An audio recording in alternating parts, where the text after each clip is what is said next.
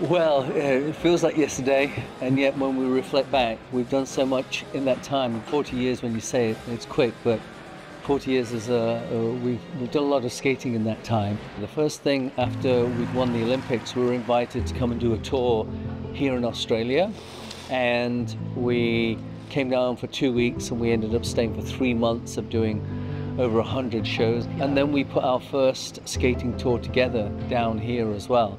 And so I think we were embraced by the public in Australia. And coming back, it's again like 50 is a full circle. This is sort of a, a circle end for us as well. We've been together so long, we don't even have to talk about something before we suddenly were having the same thought.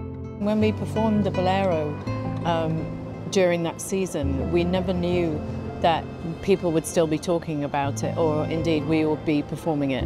Um, it is just incredible to think of that. And, you know, we find it very endearing that people still want to see it. So, it, yeah, who knew at the time? You know, 50, it's a long time. It's a nice round number as well. So I think 50 years of skating together, it has a ring about it. And for us, I think our bodies are telling us that we're getting close. And so whilst we still can, that's why we really want to still do the tour. Because we've never stopped, you know, and we've always looked after ourselves as much as we can. We've obviously picked up injuries along the way because we've been performing so much, but I think we've been lucky that, you know, nothing has, has been so bad that we can't skate anymore. You know, we've always managed to overcome that. So we're really happy to say that this is going to be our final tour. Um, we feel ready at that point. We can still skate to a standard that we're happy with.